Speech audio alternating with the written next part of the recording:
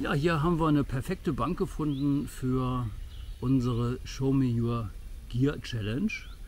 Der nette Kanal Willems Outdoor-Welt hat diese Challenge ins Leben gerufen und uns haben direkt zwei Kanäle nominiert.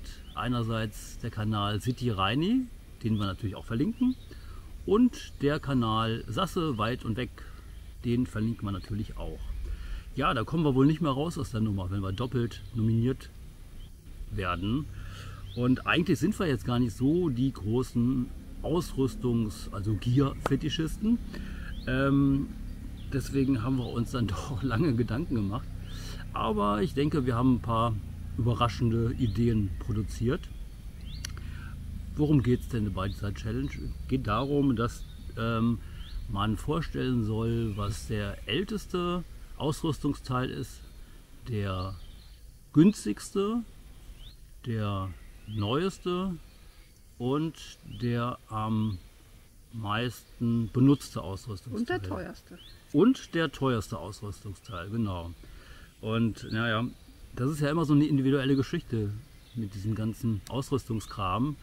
Äh, deswegen wollen wir hier auch nicht groß als Werbeträger fungieren, sondern haben uns überlegt, ähm, was denn bei uns so persönlich ähm, vielleicht typisch ist, auch für die Wandersocken. Ja, da fangen wir doch mal mit dem ältesten Ausrüstungsteil an. Das ist ein Eifelführer von 1927, den wir mal auf der Straße aufgelesen haben, in einem dieser ähm, zu verschenken Kartons, die man jetzt immer häufiger so sieht, äh, wo dann bevorzugt Bücher oder Porzellan drin stehen.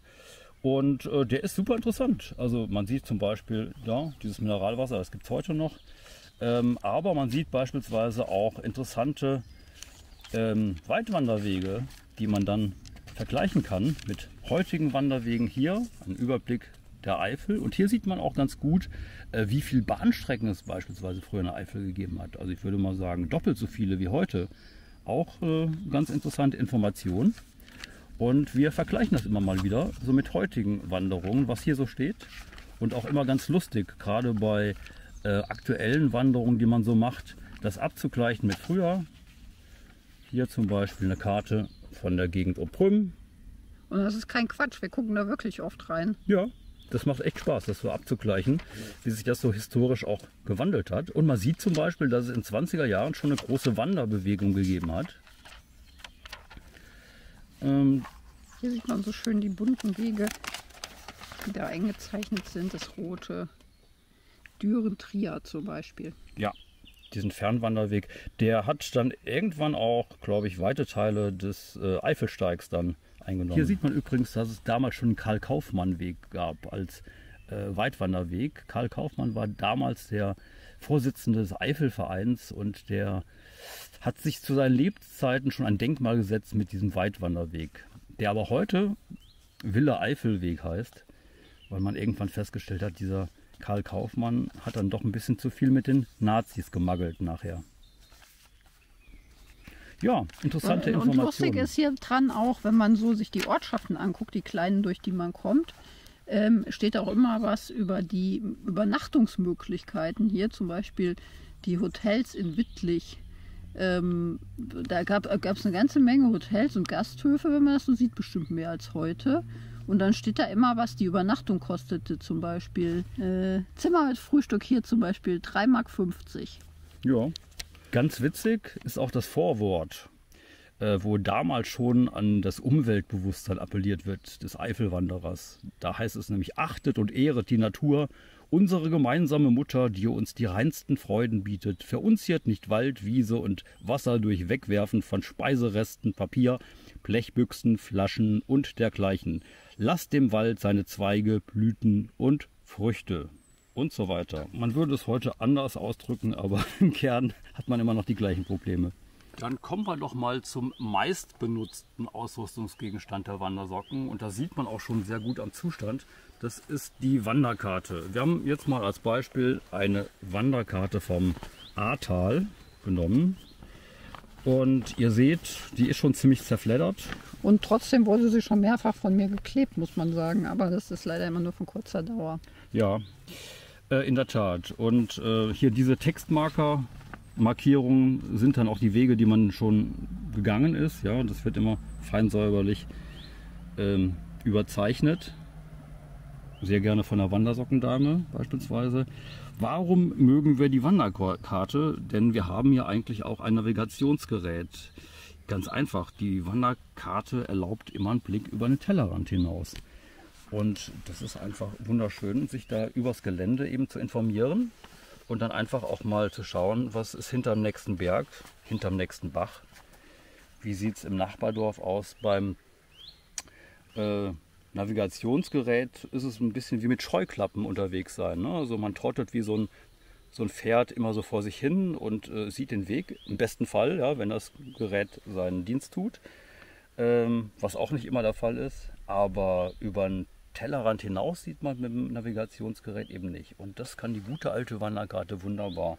Wir haben natürlich nicht nur diese eine Wanderkarte, sondern wir haben gefühlte 50 zu Hause liegen auch gerne von Gegenden, die wir bereisen. Meraner Höhenweg fällt mir so ein.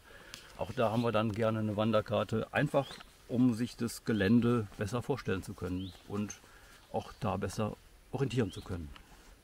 Und wenn man sich nachträglich nochmal fragt, wo war das eigentlich damals, dann kann man es oftmals auch auf der Wanderkarte nochmal finden.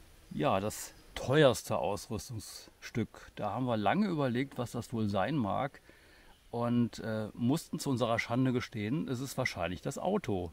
Denn wir sind Großstadtbewohner und wir müssen erstmal zu unseren Wanderungen hinkommen. Und das würden wir gerne viel öfter mit der Bahn, aber das ist in vielen Fällen leider gar nicht möglich, weil es diese Bahnverbindung gar nicht gibt. Und zu Corona-Zeiten war es auch nicht immer so angenehm, mit der Bahn zu fahren. Deswegen fahren wir erstmal dann meistens mit dem Auto dahin.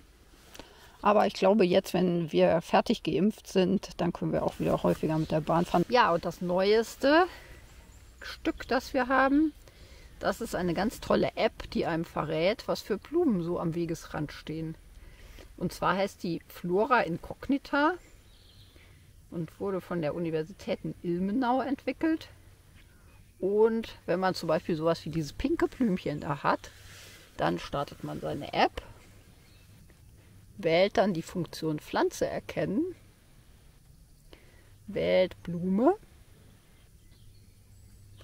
wird dann aufgefordert, diese zu fotografieren und da, da, da, da. wir erfahren, es handelt sich hierbei um das Ruprechtskraut, auch Stinkstorchenschnabel. Oh, okay.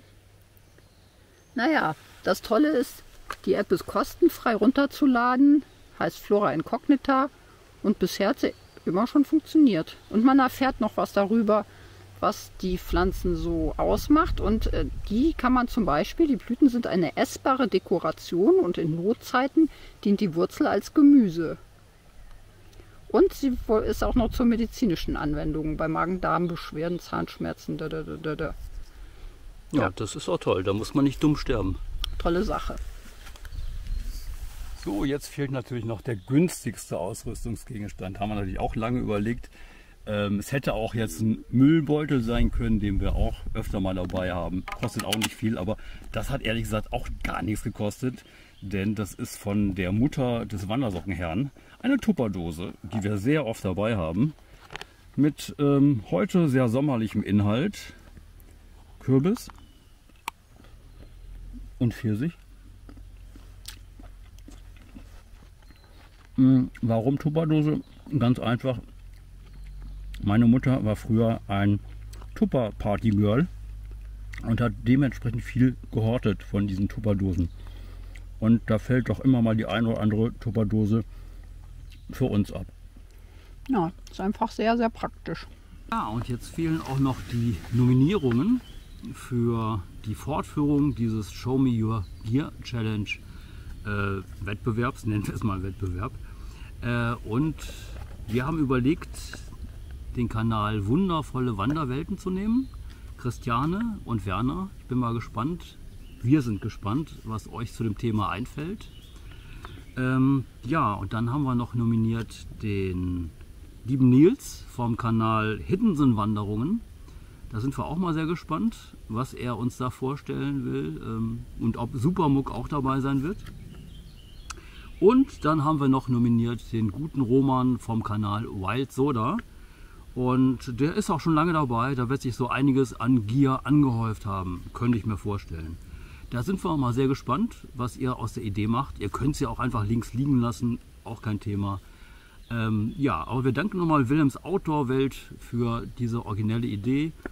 Und äh, wir hoffen, wir haben der Welt was Originelles hinterlassen. Mm.